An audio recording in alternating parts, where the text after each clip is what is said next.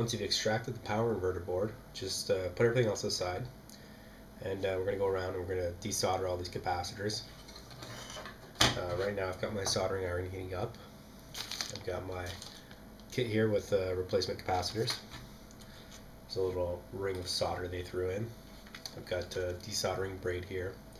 If you've got the pump, by all means use that. Uh, it's definitely preferable.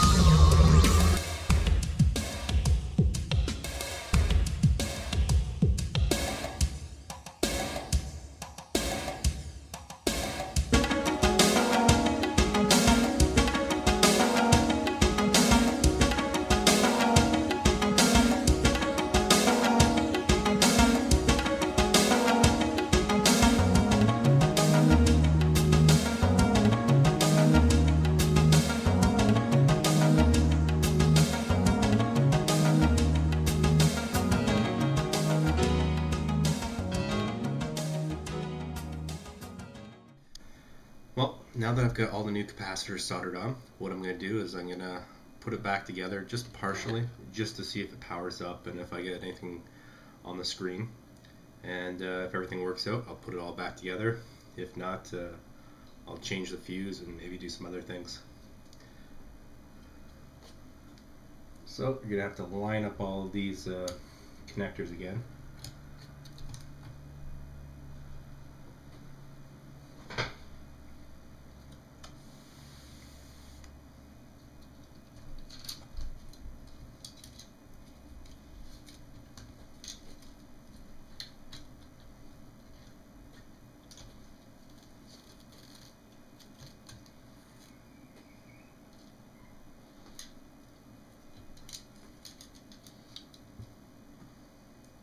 Now normally you wouldn't plug these in until you put the uh, RF shield on, but because I'm just going to test it out to see if it works, I will be connecting them.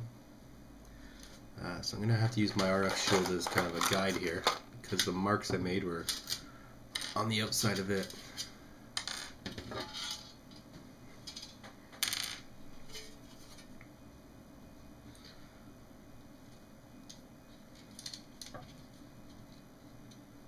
Alright, so this one here was the black.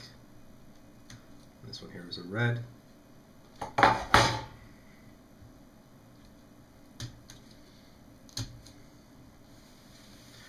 And I'll do the same thing on this edge. Black, then red.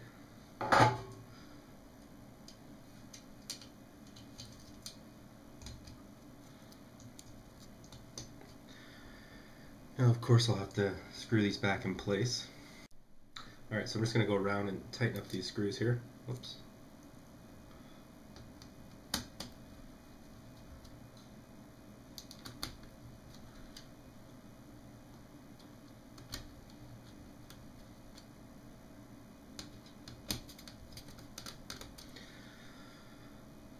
Alrighty. Now it's time to connect the power and the video cable and uh, see if we get anything on the display. Alright, so I've got the power hooked up and I've got the video cable going to my laptop. So what I'm going to do now is just carefully tilt it up and I'm going to try and power it up.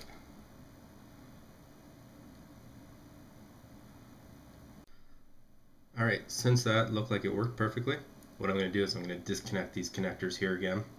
I've already disconnected the video and the power. And I'm going to put the RF cage back on top of this.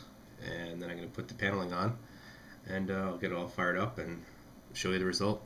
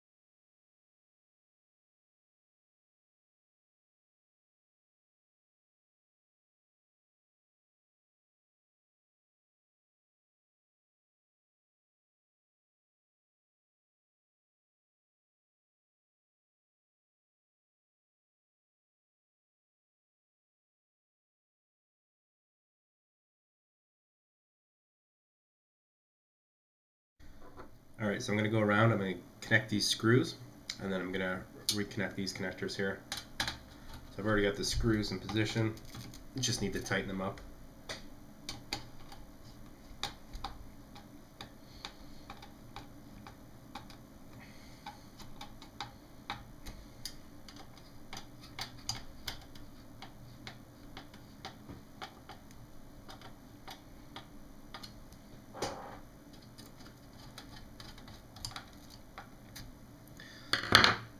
Alright, now I'm going to reconnect these connectors again.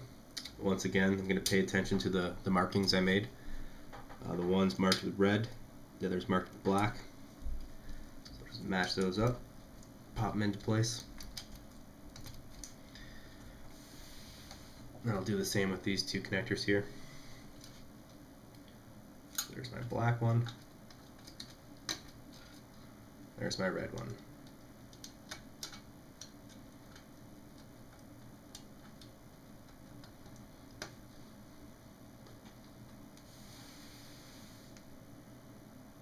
There we go.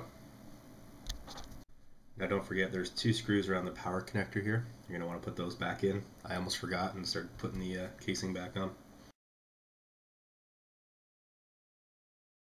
There we go. Since I made quite the mess of the bezel here, I'm just going to be taking my Dremel and I got a sanding wheel here and I'm just going to, at a very low RPM, I'm going to be touching this up just so it looks a little nicer.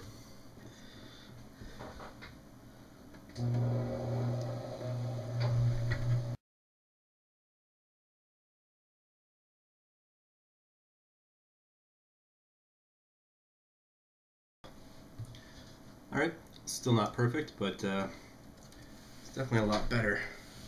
I doubt you'll be able to see it on the camera there, but uh, it was all chewed up here.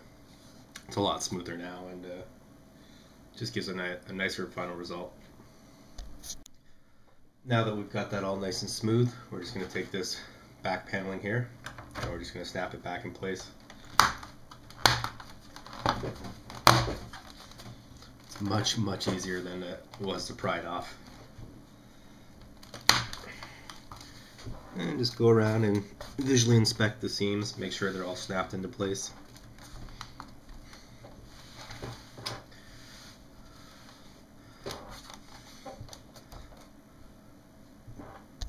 Next thing I'm going to do is going to put these three screws back in. So I've got one here, one here, and one here.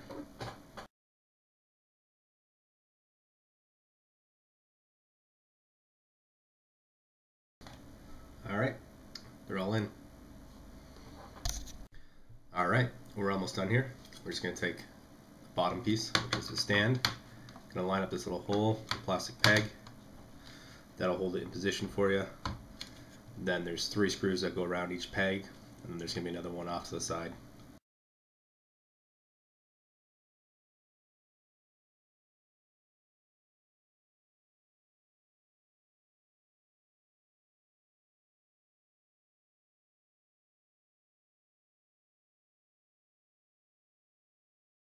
Alright, not much left to do here. Just to take this plastic piece, it'll pop back in. Now we take this bottom stand here, that'll pop right on too. Pull it off the edge here. Probably can't see this. That snaps right into place. And there we have it. It's all assembled. Time to fire it up and see if it works. Alright, it's time to fire it up and see what happens.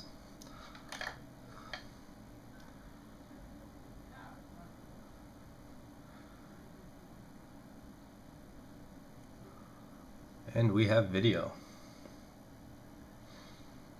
So there you have it. That's how you fix the Acer AL 2017 monitor.